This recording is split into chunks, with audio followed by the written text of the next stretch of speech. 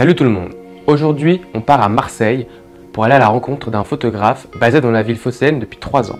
On va parler de sa pratique photographique, de son quotidien de photojournaliste, de sa relation à l'écriture.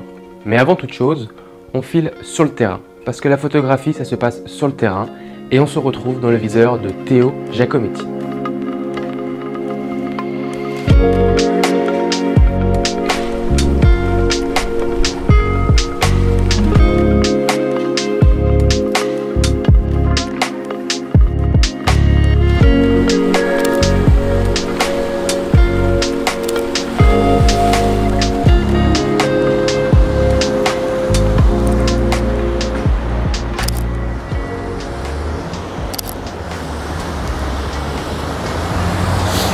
Vous vous êtes mis pile au milieu du carré de lumière. Vous vous êtes mis pile au milieu du carré de lumière, c'est très beau. Vous avez fait exprès, c'est ça Vous vous êtes Ah dit, ouais, ah, ouais. la lumière est jolie ici, Ouais. il y a un photographe, je vais me mettre là, comme ça il va me prendre en photo. Ouais, prends photo, non. Ouais, bah si, bien sûr. Bah quand même, vous êtes beau comme un dieu. Quel âge vous avez? Et vous les mettez où après? Ah ben là, partout, je vais les coller partout sur la plage. Ah En grand format, comme ça, pour que tout le monde vous voit. Vous savez, avant, je, enfin, je faisais un peu de course à pied. Ouais, Et tout un- tout un- ça se voit. C'était marqué euh, tout Marseille court. Et j'étais sur la photo. Et ben voilà, et ben là on pourra mettre tout Marseille nage. Passez une bonne journée. Également, cette belle photo. On a photo la dame. Je, je fais mon maximum, promis.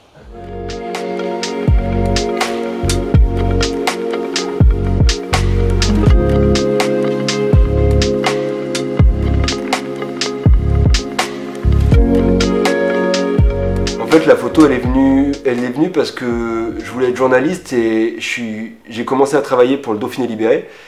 J'étais ce qu'on appelle correspondant local de presse, donc c'est vraiment le, le bas du bas du panier où tu touches 10 balles par papier, quoi.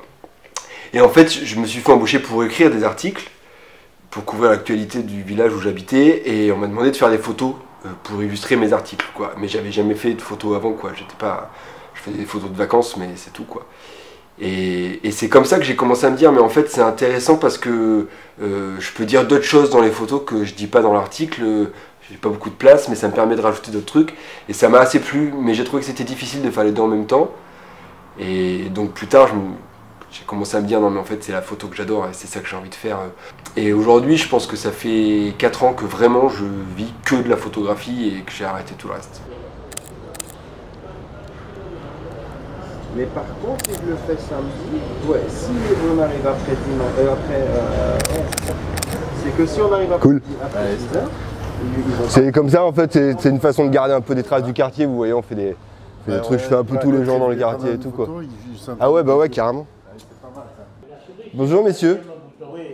Je vous embête une toute petite seconde, il m'a dit que vous jouiez à la contrée. carreau. 90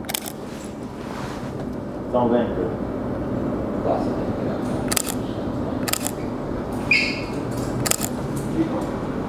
Trop bien. Allez, une dernière, je vous laisse jouer. Merci beaucoup, passez une bonne journée. Au revoir.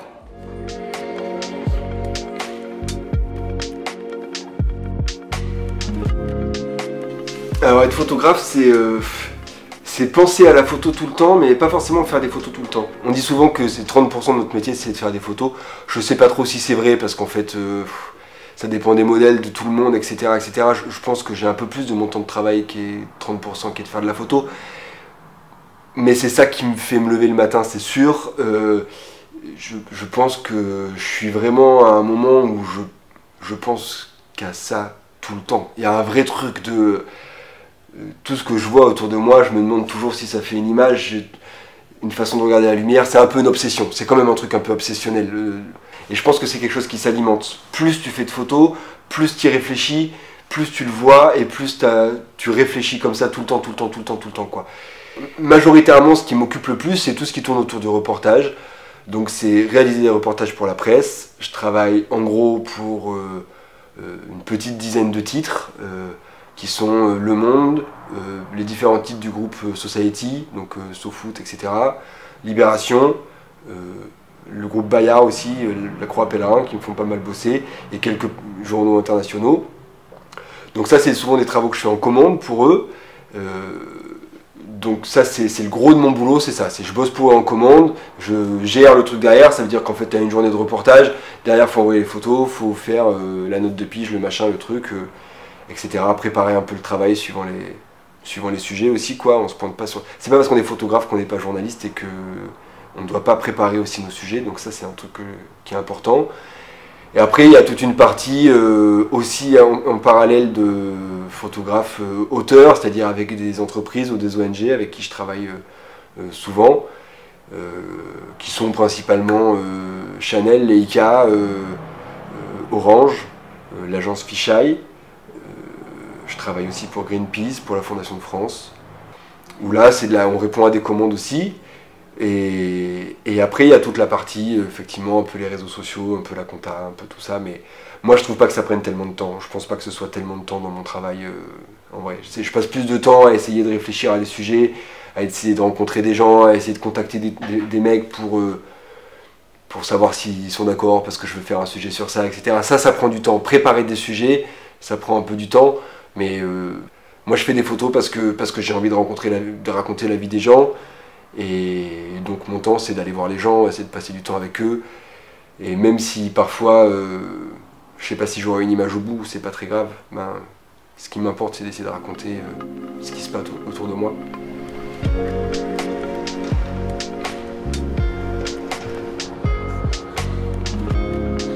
Bonjour mesdames, je vous embête une seconde, je me présente, je m'appelle Théo Giacometti, je suis photographe, euh, j'habite pas très loin. Et je fais un peu toute une série de portraits des gens du quartier pour essayer de garder un peu des, comme ça une trace de, des gens de ce quartier, qui est un quartier que j'aime bien, dans lequel j'habitais. Ça vous embête pas, je vous fais une petite photo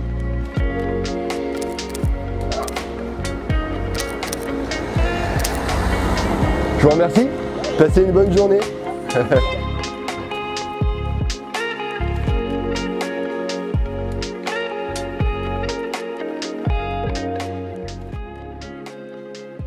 Je me suis toujours dit que si j'étais gentil et honnête euh, et que j'avais l'air gentil, les gens ils, seraient gentils avec moi. c'est un peu vrai. Non mais c'est un vrai positionnement je trouve parfois de ne pas être euh, hautain ou euh, je sais pas d'être d'avoir l'air un peu sincère face aux gens, bah, je trouve que du coup ils sont cool avec nous.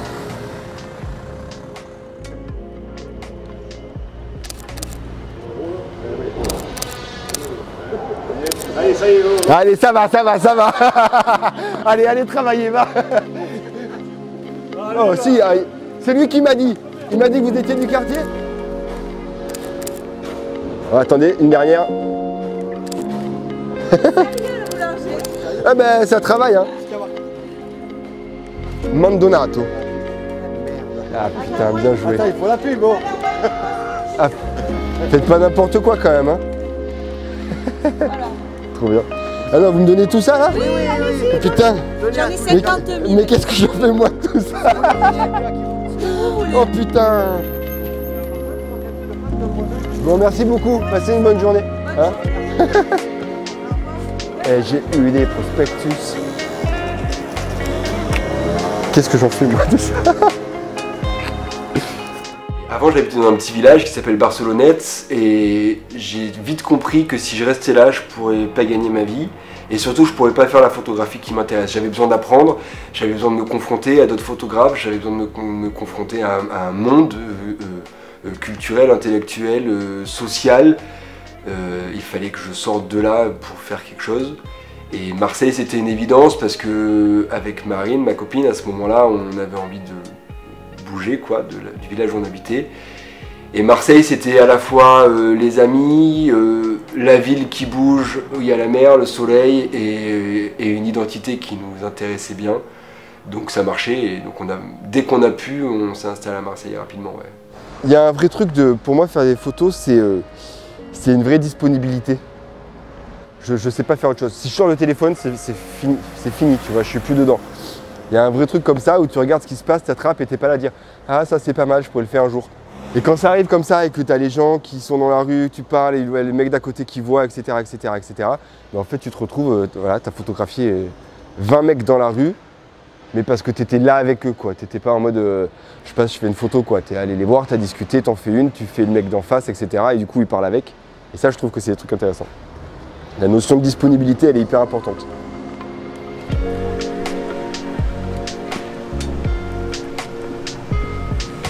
Bonjour monsieur, je peux vous embêter une toute petite seconde Est-ce que vous pouvez juste me regarder un petit coup Je vous remercie, passez une bonne journée, bon courage. Au revoir.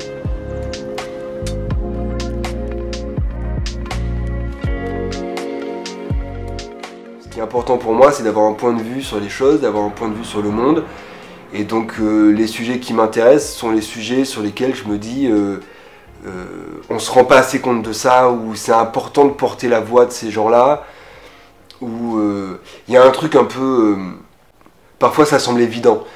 parfois on cherche des sujets pendant des semaines, on sait, sait pas trop trouver un bon sujet, puis d'un coup on se retrouve, on se dit putain mais ça évidemment il faut parler de ça, et souvent on le confronte avec notre entourage, j'aime bien parfois balancer un peu le truc comme ça à, ma compagne ou à mes amis ou quoi, dire euh, tiens peut-être que je travaille un peu sur ça pour voir un peu comment ça prend. Et si je me dis si les gens disent ah ouais ça je savais pas et tout je me dis c'est qu'il y a un sujet c'est qu'il y a quelque chose dont les gens se rendent pas compte et dont il faut parler.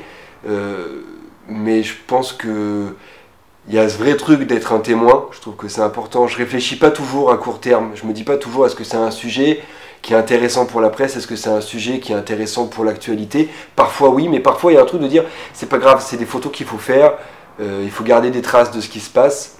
Ça c'est un truc que je trouve assez important et qui, me, plaît assez, de, garder un point de vue sur ce qui se passe. Des fois c'est vraiment de la curiosité pure, je pense que je fais aussi ce métier vraiment par curiosité. C'est avant tout parce que j'ai envie d'aller quelque part que je vais me servir du reportage comme excuse presque quoi. Euh, je trouve que c'est fou. Euh, tous les endroits où on peut aller en tant que photographe, où on ne pourrait pas aller si on n'était pas photographe. Euh, je, me, suis retrouvé, euh, je sais pas moi, à l'arrière de bagnoles de flics ou dans des soirées privées ou dans des endroits où si j'étais pas photographe, j'aurais pas été là en fait. Et ça, je trouve ça assez génial. Donc parfois, il y a un peu un truc de me dire, euh, ouais, j'ai envie de rentrer dans tel milieu, j'ai envie de connaître un peu un métier, j'ai envie de connaître un truc. Je suis curieux de ce qui se passe derrière la porte d'un hôpital. Je vais essayer de faire un reportage pour parce que je me dis que si moi ça me rend curieux et si moi ça m'intéresse, peut-être que ça intéresse d'autres personnes aussi quoi.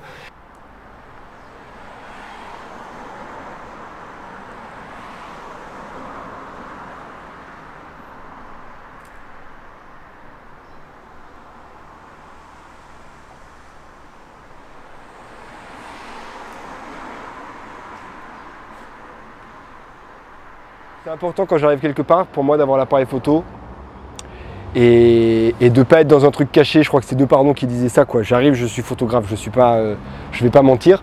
Donc euh, je trouve ça important d'arriver et j'aime bien laisser les gens aussi euh, ben, se dire ah tiens il y a un photographe quoi. Ça leur laisse. Je n'arrive pas comme un fou quoi. Je trouve que c'est important. Donc là il y a des mecs. On va essayer d'aller voir s'il y a quelqu'un qui veut nous recevoir.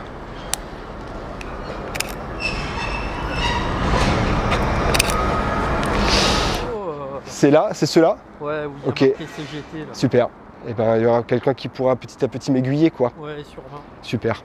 Parce que bah, bêtement j'ai cherché des adresses mail sur internet, j'ai essayé d'envoyer des mails, mais je sais que les gens répondent en général pas trop aux mails. non mais c'est pour ça que je me suis dit en passant je vais m'arrêter s'il y a quelqu'un.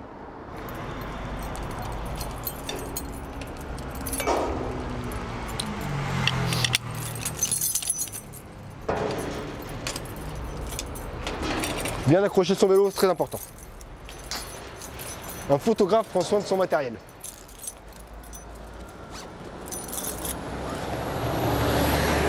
Tac, tac, tac. Et c'est parti.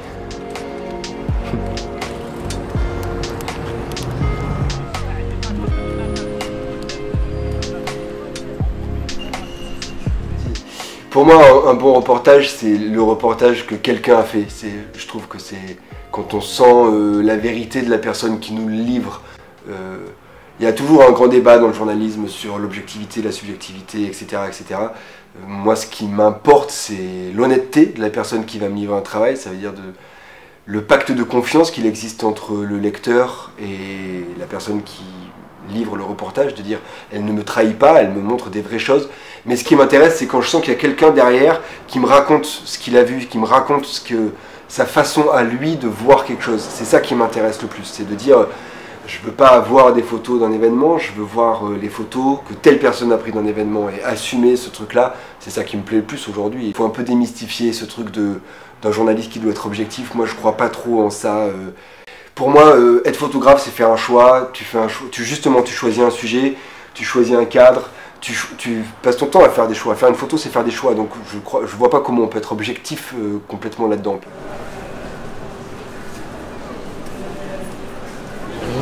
Voilà. Voilà, c'est moi. Je vous fais un petit portrait. Vous voulez un petit portrait? Regardez.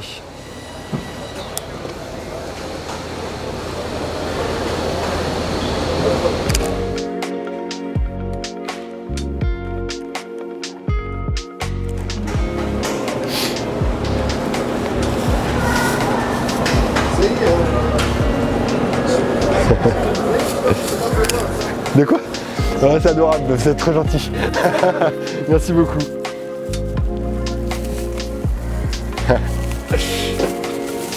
Hop là Une bonne photo, c'est une photo qui suscite une émotion, je pense. C'est un peu bateau comme phrase, mais je pense qu'il y a un peu de ça. Le premier truc, c'est ça. C'est une, photo qui, fait qu'il se passe quelque chose en nous. Ça peut être plein de trucs et chacun a un peu son propre truc. Moi, je ne recherche pas forcément une belle photo, ça m'intéresse pas tellement. Je, suis pas un photographe du beau.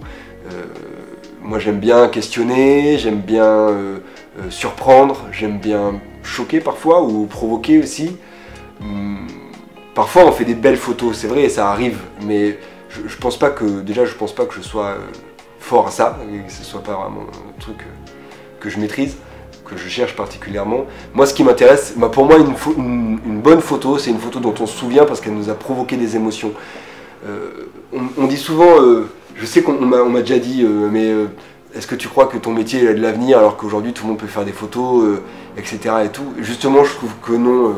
un photographe qui sait faire une photo qui marque, ça, aujourd'hui tu peux faire ce que tu veux, ça reste la photo du petit island sur le bord de la mer, on l'oubliera jamais. Je veux dire, elle, nous a tous marqué, ou- ou en tout cas moi celle-là m'a marqué, il y a d'autres photos qui ont marqué des gens, mais je pense que une photo qui, qui fait une vague dans la société comme ça, qui fait frissonner un peuple, qui fait frissonner un, un pouvoir, qui, qui fait, euh, je sais pas, qui, ouais, qui crée une émotion euh, chez des gens, c'est c'est ça une bonne photo, clairement. Mais tu- on le sait que tu es une bombe, hein n'y a pas besoin. Merci. Attends, j'ai les lunettes. Eh bah ouais, ouais, vous faites comme vous voulez, hein. Ah, je veux pas les lunettes. Ah, c'est vous qui décidez, hein C'est pas moi qui choisis, hein Elle est contente.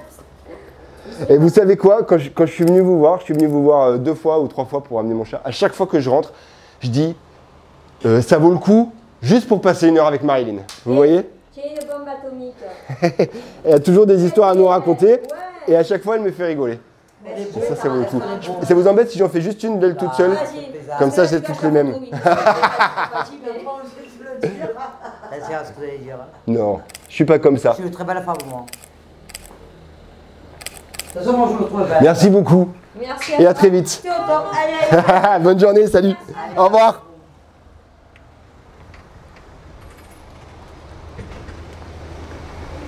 Elle, mon pote, tu peux pas venir à Marseille et pas connaître Marine. C'est la, la toiletteuse la plus dingue du sud de la France.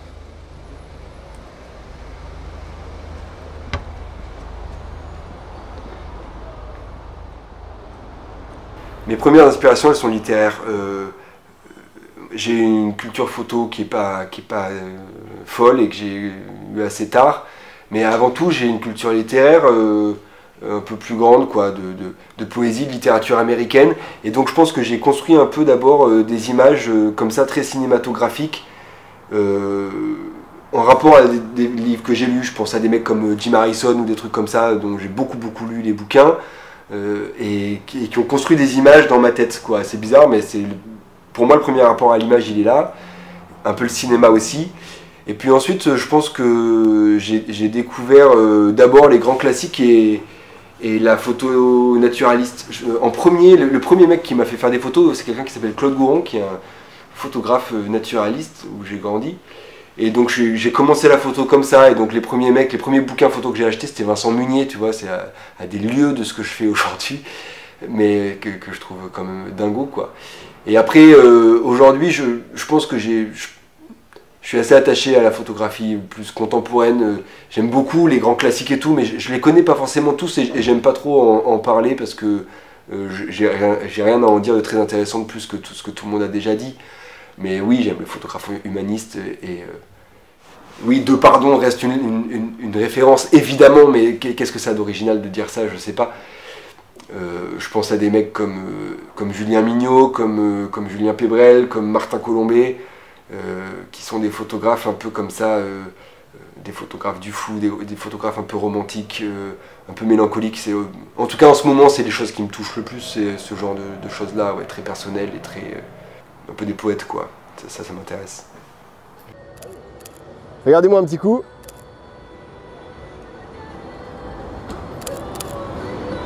Je vous remercie. Passez une bonne journée, bon courage. Au revoir. Pour, pour moi, la, la littérature, c'est un truc. euh, euh, je pense que ça m'a appris la notion de, de ton. Euh, tu vois, quand tu, quand tu regardes une série de photos, euh, tu as une, une, deux premières images, comme ça, elles te donnent le ton, elles te disent un peu euh, comment est-ce que le mec se comporte fa- face à moi. Est-ce que c'est un peu du second degré? Est-ce que je vais vers quelque chose qui est un peu ironique, un peu marrant? Est-ce que c'est un truc un peu lourd qui dénonce? Est-ce que cette notion de tonalité, euh, je pense que j'ai un peu appris ça dans la, dans la littérature, j'ai toujours trouvé ça fou. J'adore ouvrir un livre et lire la première phrase, comment le mec il nous prend et nous rentre dans son histoire, euh, c'est quoi les trois premiers mots quoi, tu vois? Ça je trouve que c'est un truc qui est fou. Et, et je pense toujours à ça quand je commence une série, je me dis toujours euh, comment est-ce que je serais quoi la première phrase que j'écrirais? Et j'adore écrire avec euh, mes images et j'aime bien comprendre euh, et, expliquer que une photo c'est pas là que pour illustrer un texte et un texte c'est pas là que pour raconter une image. C'est deux moyens d'expression différents qui peuvent raconter deux choses différentes et qui, qui, qui vont se nourrir l'un et l'autre. C'est pas juste euh, une photo dans un journal, elle vient pas juste dire le même truc que l'article. Et, j'aime bien quand je peux écrire sur mes images, raconter d'autres trucs et faire que quand tu vois l'image, tu as une matière pour la regarder différemment et tu as une, pareil, un point de vue. quoi. Et ça, ça m'intéresse. J'aime bien écrire, euh, c'est un truc qui me plaît. Et je prends pas assez le temps de le faire, mais, mais ouais, j'aime bien ça.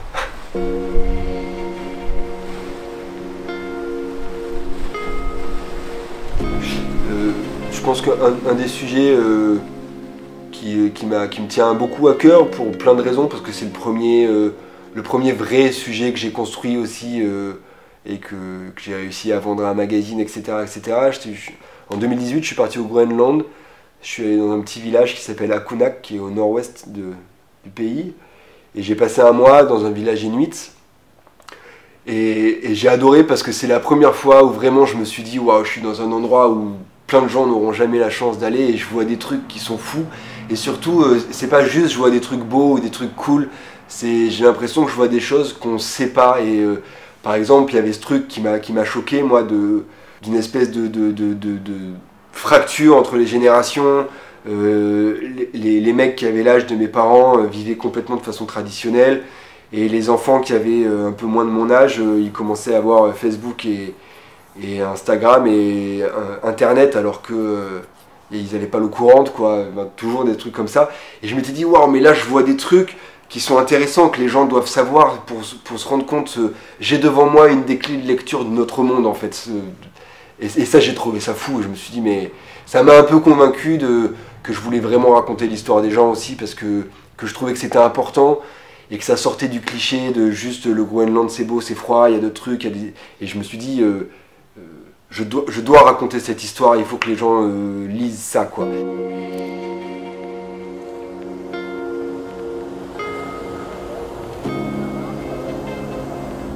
Je trouve qu'on a un vrai rôle de témoin et qu'on a une responsabilité en tant que photographe, pas, quand on prend des images, ou en tout cas beaucoup moins, mais quand on les diffuse. Et ça, c'est un vrai truc où je trouve qu'aujourd'hui, notre, notre métier manque un petit peu de débat, d'échange, de, d'espace où on peut un peu faire attention à ça et en discuter ensemble. Je trouve qu'il y a eu les Gilets jaunes qui ont été un vrai moment où la question s'est posée. Et puis derrière, ça, c'est un peu, on a un peu fait comme si de rien n'était. Mais quand on voit aujourd'hui euh, euh, les rôles des médias, euh, que ce soit bon dans le monde politique, évidemment, mais, mais pas que, dans la défiance qu'on a, que, que, que, que les gens ont face aux médias, on a une responsabilité face à ça. Je trouve que c'est important d'être honnête face à face avec les gens qu'on prend en photo, d'expliquer pourquoi, d'expliquer comment. euh, on n'est pas là que pour gagner notre croûte. On fait pas ce métier pour gagner du fric en fait. Si on en gagne, tant mieux, et, ça nous permet de continuer. Mais, avant tout, on est là pour, faire des images, pour, euh, raconter des histoires, pour, euh, pour montrer des choses. Et ouais, je trouve que c'est un, c'est un truc qui, moi, c'est un des trucs qui me questionne dans mon métier, quoi, de, de quelle responsabilité on a sur, sur les images qu'on diffuse. C'est une des raisons pour lesquelles j'ai arrêté de couvrir les gilets jaunes parce que clairement j'ai fait deux trois trucs quoi et puis je me suis dit ok soit tu traites vraiment le sujet, tu vas voir les mecs, tu vas sur les ronds-points, tu fais le tour et tout. J'en avais ni vraiment l'envie ni vraiment le temps à ce moment-là. Et donc je me suis rendu compte d'un truc, c'est quand on ouvrait les journaux, il y avait plein de photos de, de poubelles en feu, de trucs et tout. Et c'est pas que la faute des journaux, mais c'est un peu la faute des journaux. Et c'est aussi la faute des photographes. Et face à ça, tout le monde a fait son truc dans son coin, on n'a pas discuté, je trouve que c'est un peu dommage. Voilà, j'essaie de rester vigilant avec ça quand même, sur euh, nos images.